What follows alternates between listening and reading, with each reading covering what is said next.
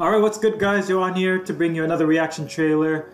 Um, yeah, so I think a lot of people are expecting the young Innes and Tana, which I am also agreeing with for the most part. Uh, my biggest question is if that's the case, are we getting a full young Sacred Stones banner or is it going to be kind of uh, varied?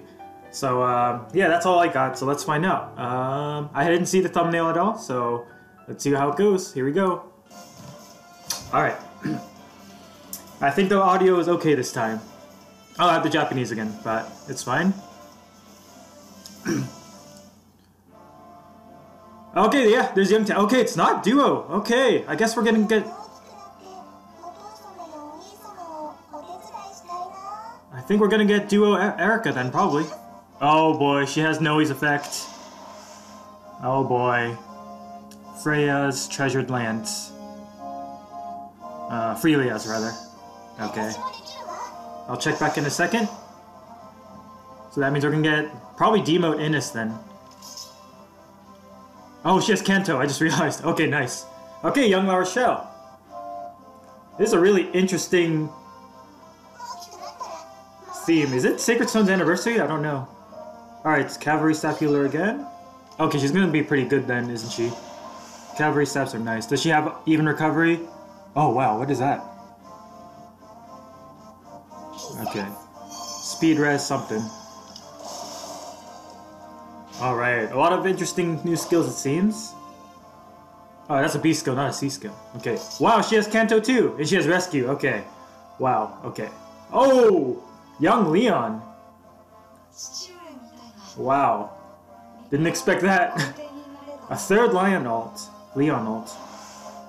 Er, well, third if you include the duo part. Yeah, that's a demote for sure. Grado's uh, historical tome or whatever. Alright, looks like a mini Gleipnir.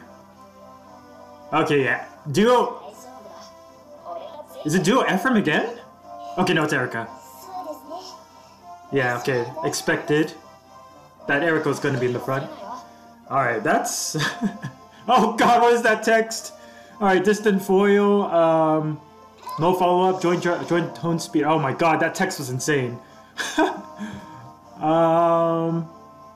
Okay, heal allies within 3x3. Hold on. Yeah, I'll, I'll read everything in a sec. And let me guess what our free unit's gonna... I guess free unit will be Innes then. Yeah, has to be. If they keep going with the theme. Yeah, some sort of speed buff.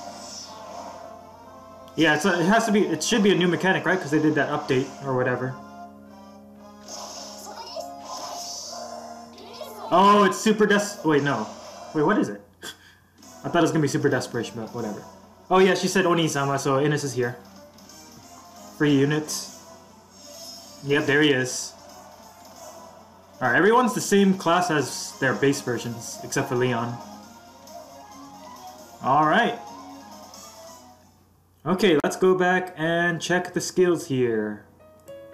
Alright, so Tana is Lance Fire. And she has Canto, we know that, and the super uh, aerobatics. So killer weapon uh, can move within two spaces within anyone within two two uh, spaces. Um, at the start of combat, if HP if she exists, then attack speed plus six. And oh wow, when she initiates combat, it gets plus ten res and defense. Okay, okay. Um. Steady impact, that's really good. Alright, this is a new skill. Speed defense, um, close shadow is the kanji. Um, not sure what's gonna entail. Oh, is it Canto? Okay, so in combat, speed and defense, take an enemy speed and defense minus 3, and grants Canto remaining move plus 1. Okay. Alright, alright. So that synergizes really, really well with her weapon. Because she can teleport to attack, and then that shouldn't technically count as any movement, I, I want to say. So yeah, I think they showed it. So she'll have like 3 movement after the Canto. Or for the Canto. So this counts as no movement. And then she'll get 2 plus 1 um, afterwards for Canto. Uh, oh, just one. Okay, never mind. I guess it uses up all of her movement then. So at least she'll always get one movement. Um, okay, that's that's really nice, honestly. So the warping does count as movement then. Okay. Alright, really cool. And La had the same thing. Uh, that's Amagaitaro, isn't it? Yeah. Alright. Yeah, she moved one space, so she should have three Canto after this, if she has that same effect. Alright, she has Rescue. Her PRF is uh, Wrathful Staff, and at the start of turn, the closest ally within, or the closest enemy within five spaces gets uh, res minus six and uh, the flash effect. Wow. Okay, that's pretty nice. And when she initiates combat, attack speed plus six. Rescue, speed put, attack speed push. Yeah, and she has the speed res version of it. Okay, no, it's not. It's not remaining plus one. It's um, just the remaining spaces left. So she should have two movement after this. Okay, yeah, it says right there, if you warp, then count as your remaining spaces as zero. Okay, which is fair. So she should have two after this, right? Yeah, there we go. Alright, nice. That's pretty good. yeah, it's not plus one because she's a ranged unit, I'm pretty sure. Okay, so this Lyon has a uh, preferred tome. Alright, Grado's uh, whatever, historical tome. Attack plus 3 when enemy attacks, or if enemy has 100% HP, uh, they get minus 6 attack and res, and uh, during combat, uh, your debuffs to attack and res are nullified, and if the enemy is a ranged unit, basically, or a colorless unit, or and a colorless unit, um, okay, Raven effect. Okay, that's uh, basically another, uh, just another version of what he always, what he's always been doing, like countering red uh, range units.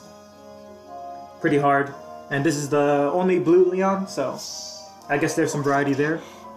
He's kind of like the Micaiah ults, where all of them kind of do the same thing, just in various colors. All right, now this has a lot of text, so it might take me a second. All right. That's also Tomio again. Alright, um... Renais Graceful Sword, or whatever. Uh, Gracious Sword, I, I don't know. It's the kanji for thanks. Uh, alright, Killer Weapon. If you initi if she initiates, initiates combat, or if there's an ally within two spaces, gets all stats plus five, right? Uh, if she initiates combat, and if there's an ally within two spaces again, and okay, it's kind of like the uh, the the new skills that we got, and if she has a buff on her or a debuff on her, um, let's see, her damage is a she gets true damage. She gets freaking Luna Arc, twenty uh, enemies twenty percent of defense as damage, true damage, and when she does damage, she heals 20% as well. Okay, so it's a life steal. Based on 20% of opponent's defense. Wow. Um, yeah, and there's a buffs and debuffs. Okay, so life stealing slaying weapon that gives plus 5 all stats. And she has distant foil, so that's trash. uh, no follow up. Joint hone speed, which is unfortunate, not joint drive speed. Um, it's good. Uh, it doesn't seem like groundbreaking or anything, but let's see the dual skill.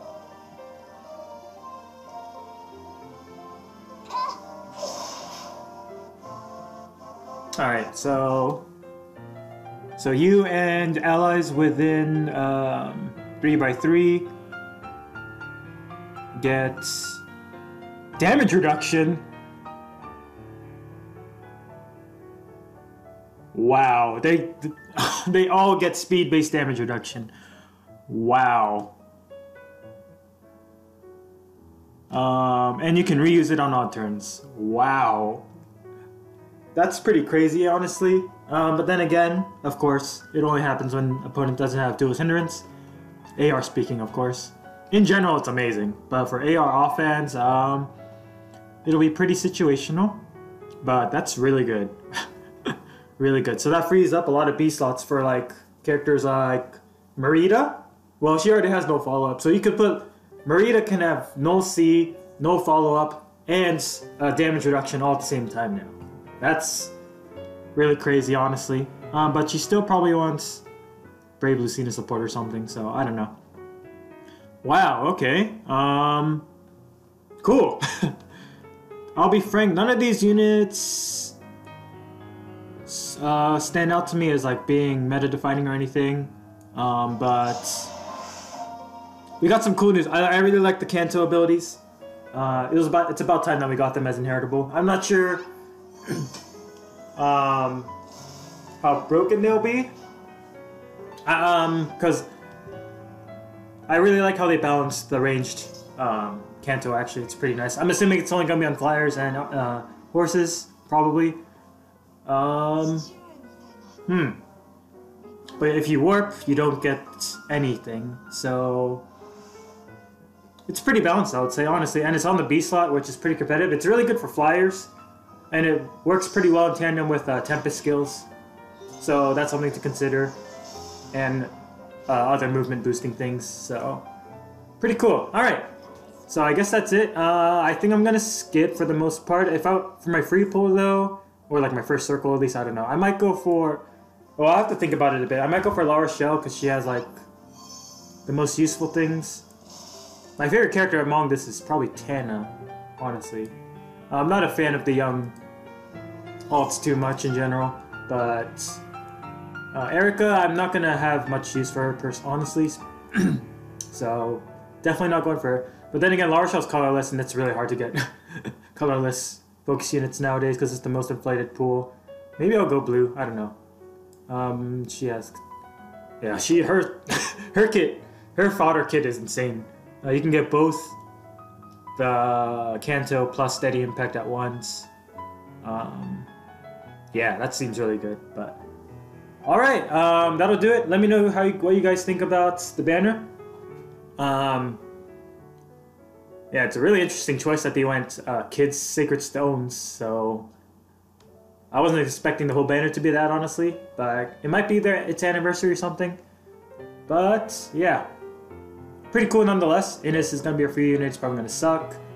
Um, and gonna have some inheritable weapon. Uh, I guess we could check now, honestly. But if it's a new weapon, I guess there's no way to know for sure. Uh, because everyone got PRFs. Maybe she, maybe he will too. Yeah. All right. So that'll do it, guys. See you next time. Let me know what you think. Peace out.